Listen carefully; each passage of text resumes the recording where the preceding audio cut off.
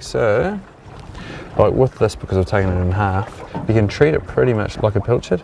Go through once, through twice from the same side, so you're wrapping it back around. Oh, okay, yeah. Yep. And then half hitch around the tail.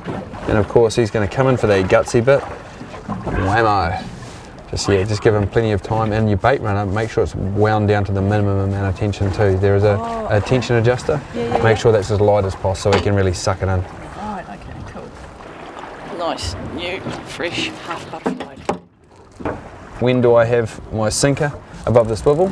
I've got, well, I've got more than a sinker. I've got a little Lumo bead. Okay, now that's going to glow up in the dark. Now, as my bait floats down, okay, the weight's going to be right down on the bait. Okay, so it's going to keep it naturally presented. But more so than that, if it reaches to the bottom and there's rocks and weeds around, when I pull on the line, I'm lifting it straight up out of the weeds.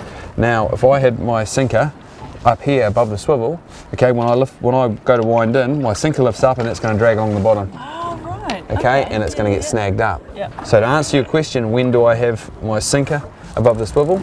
If you're not lowering all the way to the bottom, like we were with our live baits, we had our sinker Oh, above the swivel.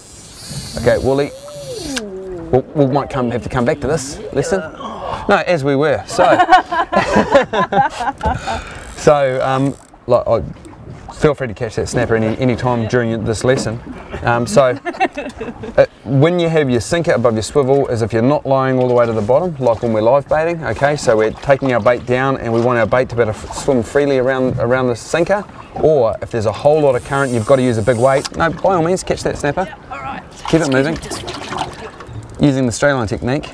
Or if there's a lot of current, but there's no foul on the bottom, like if you're fishing over mud or sand and there's heaps of current ripping past, that's when you want your ball sinker above the swivel. Tune in next time for Matt and Mandy's Stackle Tips.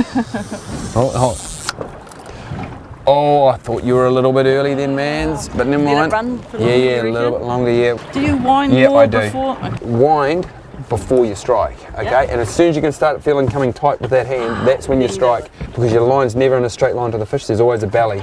So when you turn the handle, it engages it, it clicks it into gear.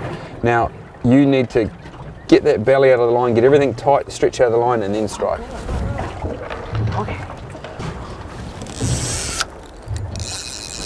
Oh yeah, that's the one, man. No, no.